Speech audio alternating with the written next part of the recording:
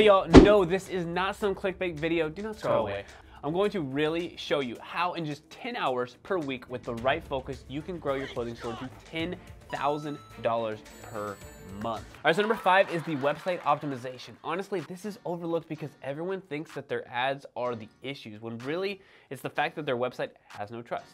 I'm gonna show you a few quick fixes you can make to your site to increase your conversion rate. I would ideally like for you to be around a 2% conversion rate depending on your niche and price point, but a 1.5 to 3% is good. Anything outside of these numbers, and there are a few things to consider, right? So either there's not enough trust or there's way too much warm traffic. Spend one hour per week here on the optimization. If you need a step-by-step -step guide for your Shopify store and how to optimize it, check out the link in the description um, below. But first, let's go check out the actual store here and go through the three things that you can implement literally right now to increase your optimization. Okay, so over here on the website, First things first, this hero image must be clickable. My guess is that your hero image is not clickable. Step things, Number two, make sure that this has a strong call to action. I would say this is probably not a great call to action. Summer graphics, drop, bright, fun graphics for any adventure, shop now. It's got the shop now button. Um, probably could be a stronger call to action, but they do have the, uh, the lifestyle or the aspirational uh, person over here on the actual page, so it's okay.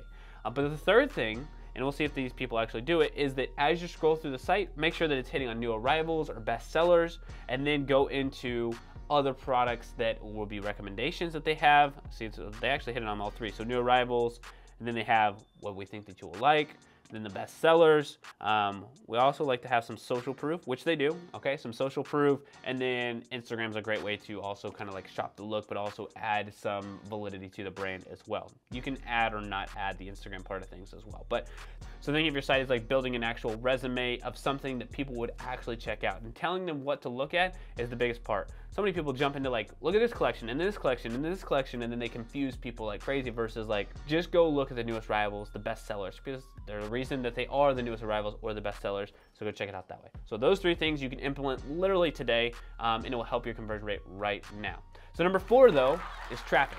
I prefer that you start with Facebook and Instagram ads and after you grow past that, the six figure mark, right? You're making six figure plus per year. Let's expand to other spots. But I'll tell you right now that we work with brands doing seven figures per month only using Facebook and Instagram. So you can too, right? It means that you can hit a $10,000 month just doing Facebook and Instagram. You don't have to chase those others. So let me show you how to set up a campaign literally right now very basic, very simple that you can set up, and you should only be spending one to two hours on this ad account per week max. Yes, it can be done even after spending thousands of dollars per day. I promise you that it's possible. So I'm gonna show you how to set up this ad account, um, or more so, how to set up this campaign, and then let it run. And then an hour per week, continue to optimize it. Okay, so the first thing we wanna do, go ahead and hit this green button over here on the left side. And it is create. We're gonna go down to sales, go ahead and hit continue.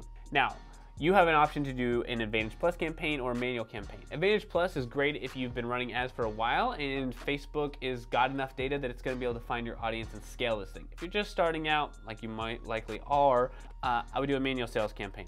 Now, that being said, we're going for conversions for a sales campaign. This is your top of funnel. This is the campaign that will never turn off. The goal here is that you continue to test content.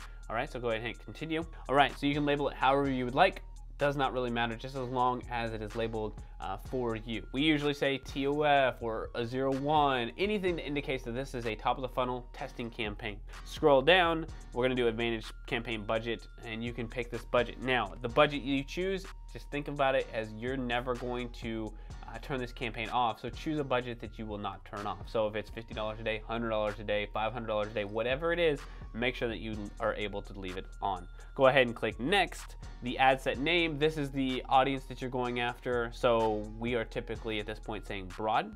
Um, what Facebook is suggesting right now is website and shop. They're really pushing the Facebook shop. We've seen some success here, so go ahead and test that one out as well. If it doesn't work, then you can always go back to the website. All right, so conversion objective, make sure that this is actually uh, connected correctly. All right, select your pixel, all right, dynamic creative, make sure that is on. What this allows you to do, you can just pause it and read here, um, and it will actually tell you what it will do. but basically it creates a bunch of different categories or a bunch of different pieces of content within one ad so you don't have to waste a bunch of money creating multiple ads. All right, no end date. It keeps telling me this end date here, which I'm gonna keep pushing out. I don't know why it keeps telling me that I need to have an end date. This is something that's been going on for a while. So anyway, uh, once I launch it, I'll be able to remove it. So I guess if you have that option, just leave it as an end date that's like 30 days in advance, and then once it launches, just go ahead and click it. It's not going to mess with your campaign. All right, expand beyond targeting selections. I mean, you can leave it on, it doesn't matter. We're doing broad anyway. So age, gender, location. If this is a women's clothing boutique, I'm gonna go from anywhere between 25 to 55, 64. Um, I'm gonna go after female, all right? and then Advantage Plus placements, make sure that's there. All right, when you get to the ad level, make sure you label this. So if this is swimwear, then make sure that the whole campaign is about swimwear. What we suggest is three to four pieces of content that are very similar, and then you'll put them all into the uh, creative section here. So single images or videos, and then you can select multiple of them. So let's go ahead and choose this. Let me choose different. All right, select images. I'm just grabbing some random images at this point. So you'll see that there's four of them here. I want them all to be kind of similar, graphics or just uh, um, a regular standing behind it background. That's the, the, the, concept we're testing. Now in this creation, what you're really looking to do, like I said, is very similar pieces of content. All of them should be UGC. They could all be um, graphics. In the very beginning, I like to test a variety of content until you find a winner. So it could be UGC, a collection style video, could also be a graphic, could be a single image, product image. All right, optimize creative for each person. I have been leaving this on. Primary text, headline, you could always add another option. So you can put in, we suggest two headlines, two primary text, and then the display link. Um, well, we're gonna make sure that you do not, um, like we're not gonna have a call extension or WhatsApp button, but you could if you would like to. The next thing is, uh, let me scroll down, make sure we're good here. Make sure that everything is turned on for your offline events if you have it, app if you have it, and then we are good to go. Then you should always just put in the URL because then it will actually show you. There we go. And then you can preview each one of the text. So once you launch this, again, you will just continue to create ad sets.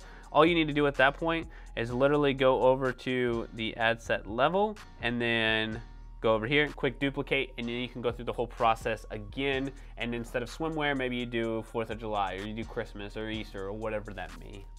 All right, so number three is profit in email marketing. This is where your money is made. Once you get to a thousand subscribers, engaged subscribers, I want you to start sending out two to three emails per week and one SMS if you can. Batch this work for one to two weeks at a time and then go on about your business. This will be about one to two hours per week when you start to create this content. If you can batch, it will even save even more time. So right now, we're at about four ish hours, five hours per week that you're working on in the business. Okay. So there will be more time. You're like, well, there's no way I gotta spend time to set this up. Don't worry, you have to set this up, and then afterwards, the maintaining will be the 10 hours. This next one is very, very important. All right, so number two is customer experience. This is your live selling. We use a tool called Comment Sold for all the people that we work with. Check them out. Uh, there is a link, I believe, down in the description. The other part of customer experience is your shipping, packaging, and customer service. I'll explain each of these areas, um, but after it's up and running for this area, this whole part of the customer experience, one hour per week, um, improving these areas will suffice, or at least a 30 minute live per week, and then the other 30 minutes improving the customer service. Your live selling, uh, it's just literally picking up your phone, going live on uh, Comment Sold or something similar, which will go live on Facebook, Instagram, TikTok, and then people can literally comment the word sold and will charge their card and process through Shopify. It's very powerful. Like I said, it's very, very cool. Um, the next thing is packaging do your research. If you are an organic brand or you are a um, sustainable brand, make sure that your packaging, your messaging aligns, make sure there's inserts, make sure there's a QR code with a postcard that actually has a video of you. Thanks them so much for purchasing that product. And I would also say the next level is obviously you want to have some kind of discount or deal for them to buy a second time. The customer service, make sure that there's some kind of chat uh, people do not like to wait uh, via around via email. So a live chat would be a really good way to, to make this happen. Uh, there's a lot of free chats out there. There's also Intercom and Crisp that you could check out. Do not skip this step. This is where you will get repeat customers. All right, before we get into this last one here, probably the biggest area to help you grow your business and build an actual brand, I want to say, hey, look, if you are a clothing store, you've watched this part of the video and you're like, ah, I really just need somebody to help me guide me through this this for my business, just check out the link in the description down below. We have 45 minute strategy sessions. Um, we are a uh, small but limber team. Um, however, we do have real conversations and we did really do go through the strategy, so spots are limited. But if that is you, if you actually are interested, just check out the link in the description down below. All right, so number one is organic marketing. This is going to be the area where you have to decide if you can go over 10 hours per week or if you need to outsource the other areas in your business to spend more time. This part of the business does take time and it's not just posting, but SEO and UGC or user generated content.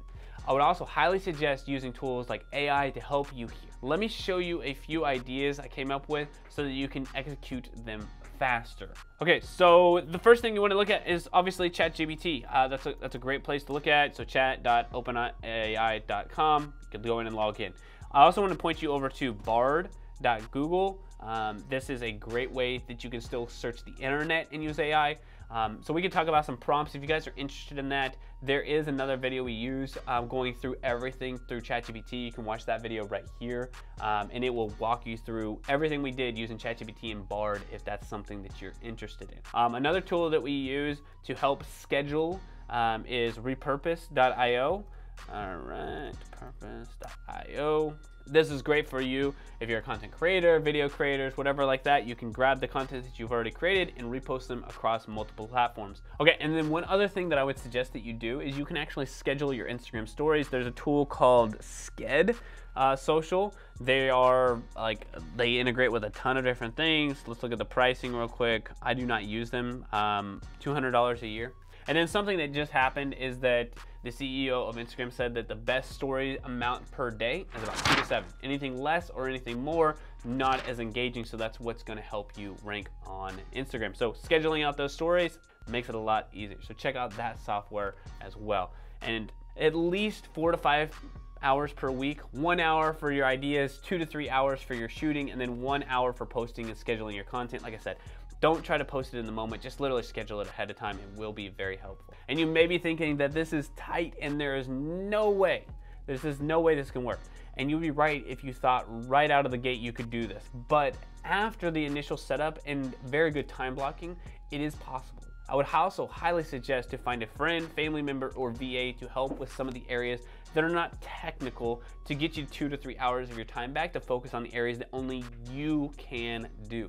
All right, y'all, if you liked this video and you really want to figure out how the heck can I make Facebook or Instagram ads work to grow my clothing store, make sure you go watch one of these videos right here. All right, see y'all next time. Have a great rest of your day. And P.S., make sure that you hit that subscribe button.